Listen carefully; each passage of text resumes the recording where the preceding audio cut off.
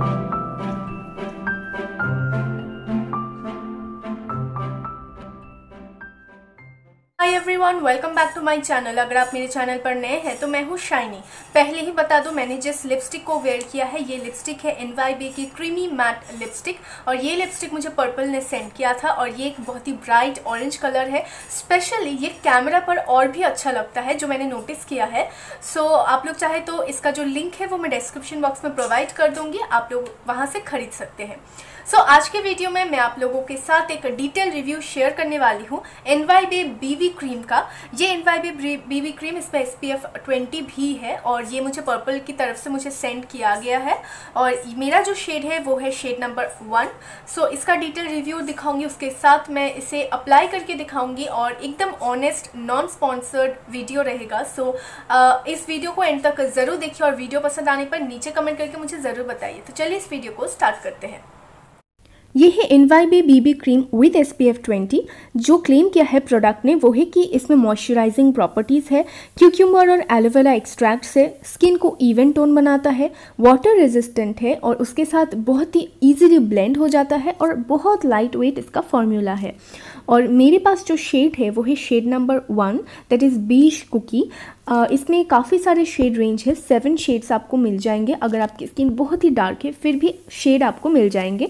और इसका जो प्राइस है वो है one twenty five rupees for eighteen मतलब one eight eighteen grams of the product और उसके साथ इसमें जो इंग्रेडिएंट्स है, वो भी काफ़ी नेचुरल है like purified water butyl methoxy dibenzoyl methane उसके साथ इसमें ग्रीन टी एक्सट्रैक्ट से क्यूक्यूमर एक्सट्रैक्ट से एलोवेरा एक्सट्रैक्ट से उसके साथ इसमें जैंथन गम है ग्लाइकॉल है एंड ग्लिसरीन है जिंक ऑक्साइड है टाइटेनियम डाइऑक्साइड है उसके साथ इसमें ई e है और फ्रेगरेंस है। और इसमें आपको जोजोबा एक्सट्रैक्ट्स मतलब जोजोबा ऑयल भी इसमें है।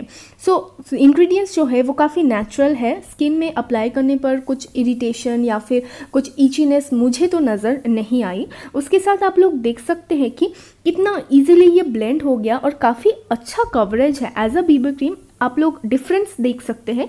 ये जो मेरा हैंड है, ये बिल्कुल बेयर है, इसमें कुछ फाउंडेशन या कुछ भी नहीं है और इस हैंड में मैंने बीबी क्रीम अप्लाई किया है अभी आप लोगों के सामने। तो आप लोग देख सकते हैं कितना अच्छा कवरेज मुझे दिया है, एक शाइन भी मुझे प्रोवाइड किया है, आप लोग देख सकते हैं अच्छी तरीके से। और इसमें कोई चौंकी ग्लिटर्स भी नहीं है, फिर भी अच्छा एक बहुत ही ग्लोई सा मुझे लग रहा है। सिर्फ़ हाथों पर अप्लाई करने पर ही नहीं, मैंने जब इसे फेस पर अप्लाई किया तभी मुझे ऐसा एक ग्लो नज़र आया। मेरा जो स्किन है, वो काफ़ी सेंसिटिव है। लेकिन मुझे इस प्रोडक्ट को इस्तेमाल करने के बाद ना कुछ ब्रेकआउट का प्रॉब्लम फेस करना पड़ा, ना ही कुछ सेंसिटिविटी का प्रॉब्लम और ना ही कोई इचीनेस मुझे फेस करनी पड़ी। और ये ईजिली ब्लेंड हो जाता है। मैंने फिंगर से ही ब्लेंड किया, मैंने कोई पैट नहीं किया डैब नहीं किया, मैंने बस उसे मसाज जैसे हम लोग बीबी क्रीम या फिर नॉर्मल मॉइस्चराइजिंग क्रीम अप्लाई करते हैं, वैसे ही मैंने नॉर्मल एकदम एवरी डे के लिए एकदम परफेक्ट है क्योंकि एवरी डे हम लोग ब्लेंड या उतना ज़्यादा टाइम नहीं दे सकते ब्लेंडिंग या फिंगर से ब्लेंड करने पर। सो so, हम लोग जस्ट ऐसे मसाज करते हुए अप्लाई करते हैं। दैट्स इट मैंने उसी तरीके से अप्लाई किया है। एंड यू कैन सी कि इंस्टेंटली इसने मुझे एक कवरेज दिया है जो बिल्कुल नेचुरल लुकिंग है। कुछ भी आर्टिफिशियल नहीं है। ऐसा नहीं लग रहा मैंने कोई हीवी मॉइस्चराइजर या फिर कोई हीवी फाउंडेशन अप्लाई किया है। Just look at the glow जो इसने प्रोवाइड किया है। मेरी ऑयली स्किन है बट आई थिंक ये ड्राई स्किन पीपल के लिए परफेक्टली वर्क करेगा। So just go for it friends I hope ये वीडियो आप लोगों के लिए हेल्पफुल था। अगर ये वीडियो अच्छा लगा तो नीचे कमेंट करके तो मुझे बताइए ही और इस वीडियो को लाइक और शेयर करना ना भूलें।